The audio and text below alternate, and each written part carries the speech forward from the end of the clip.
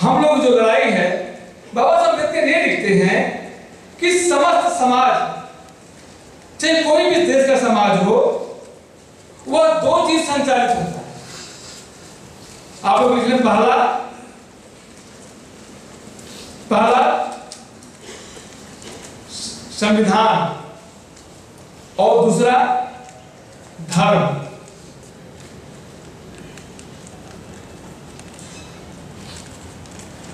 कोई भी समाज होता है, वह इन्हीं चीज़ों से संचालित होता है। और बाबा साहब ने हम सबको दोनों चीज़ दिया है। संविधान भी दिया है और धर्म उसी को आगे लेकर बढ़ाना। और एक चीज़ जो बाबा साहब अंबेडकर ने उन्नीस सौ उनतालीस में लिखी है जिसका कि हमारे भी गार्जियन महोदय हम सबको बता रहे थे, उन्नीस में एक संपूर्ण वर्ग में खंड खंड दो चैप्टर का नाम सांप्रदायिक गतिरोध और उसके समाधान के उपाय सांप्रदायिक गतिरोध और उसके समाधान के उपाय इस लाइन को लिखना हम सबको बहुत ज़रूरी है। बाबा साहब ये लिख रहे हैं, आप लोग उसको नोट करिएगा, तेज़ी से जरा।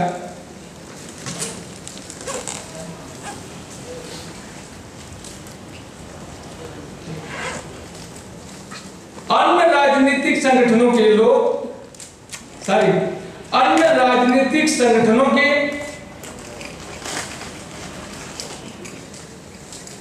अन्य राजनीतिक संगठनों के कुछ ऐसे एजेंट हैं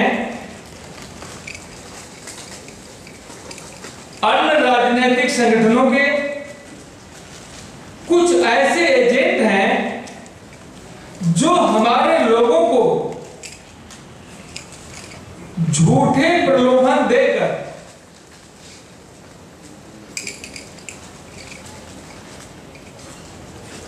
हमारे लोगों को झूठे प्रलोभन देकर उनसे झूठे वादे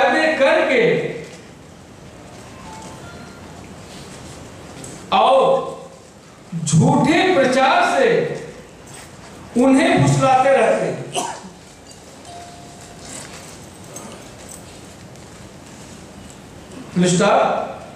यह हमारे अपने ही लोगों की अज्ञानता है।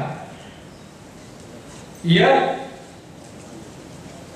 हमारे अपने ही लोगों की अज्ञानता है, जो उस संकट काल को नहीं जानते जो उस संकट काल को नहीं जानते, जिसमें हम रह रहे हैं।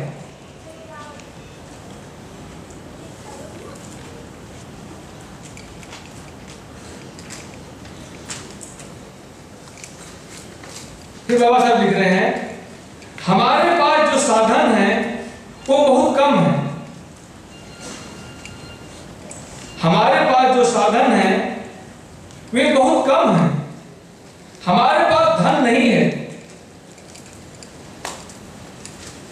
हमारे पास धन नहीं है। हमारा अपना कोई समाचार पत्र नहीं है। हमारा अपना कोई समाचार पत्र नहीं है। हमारे लोगों पर हमारे लोगों पर भारत भर में आए दिन जो निर्मम अत्याचार होते हैं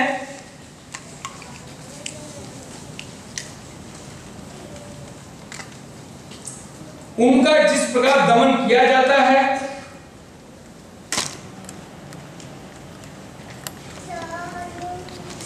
उसकी सूचना समाचार पत्रों में नहीं छपती।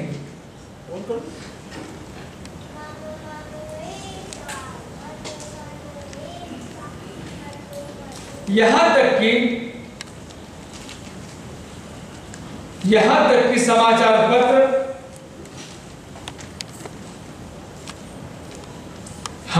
सामाजिक और राजनीतिक हमारे सामाजिक और राजनीतिक प्रश्नों से संबंधित विचारों को जानबूझकर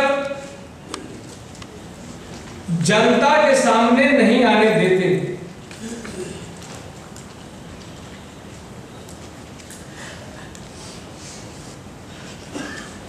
और यह सब और यह सब समाचार पत्रों की। और यह सब समाचार पत्रों की सुसंगठित साजिश का नतीजा है। यह सब समाचार पत्रों की सुसंगठित साजिश का नतीजा है। हमारे पास धन नहीं है हमारे पास धन नहीं है कि हम कोई ऐसी व्यवस्था कायम कर सकें हम कोई ऐसी व्यवस्था कायम कर सकें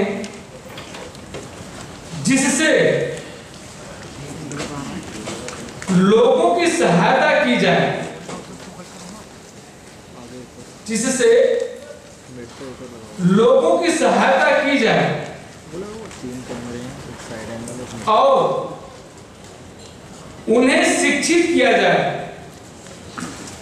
और उन्हें शिक्षित किया जाए।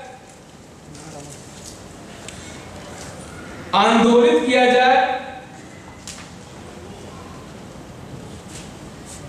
तथा उन्हें संगठित किया जा सके।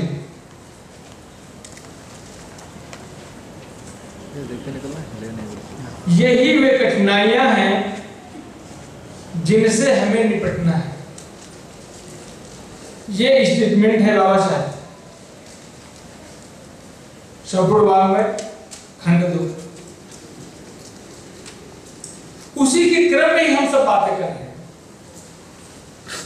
जब बाबा साहब देखकर हम सब की लड़ाई लड़ना शुरू किए तो हम लोग को दोनों चीज़ दिए एक संविधान और एक धर्म। जो संवैधानिक अधिकारों की बात शुरू होती है तो हम लोगों को जो वोट देने का अधिकार मिला है इसकी लड़ाई और मत संजोग कहिए या जो कहिए कि हमारे जो महापुरुष हैं। आप देखेंगे कि भगवान बुद्ध जो है, उनतीस साल की उम्र में गृह त्याग किए और अट्ठाईस, उनतीस साल में ही बाबा साहब अंबेडकर पूरे अंतरराष्ट्रीय स्तर पर हमारी आज की लड़ाई शुरू कर दी और उनतीस साल में ही मानव साहब भी हमारे लड़ाई शुरू जिसको कि आज आगे लेकर के माननीय बहन जी चल रहे तो बाबा साहब ने जो हम लोग को वोट देने का राइट मिला है, पहली लड़ाई उन्नीस सौ उन्नीस में बाबा साहब ने यहीं से शुरू किया उन्नीस सौ उन्नीस में इसमें चैप्टर का नाम है, साउथ ब्यूरो कमेटी के समक्ष दिया गया साक्ष्य एक कमेटी इसलिए बनी थी, इसका मेन काम था मताधिकार को डिसाइड करना। कि किसको वोट देने का अधिकार दिया जाए और किसको न दिया जाए। तो बाबा अंबेडकर हम लोगों को वोट देने का अधिकार वहाँ से दिलाते हैं। कांग्रेस, इसमें पूरा डिटेल है। कांग्रेस इसका विरोध करती है। अब कांग्रेस ने विरोध दो नाम पर किया। एक कहा कि वोट देने का अधिकार ऐसे लोगों को दिया जाए जो बहुत विवेकशील हो। मतलब अगर आज की भाषा में कहा स्नातक तो बाबा साहब यहाँ पर कोट करते हैं कि उस समय हमारे कोई छह लोग स्कूल जा रहे थे हाई स्कूल पढ़ रहे हैं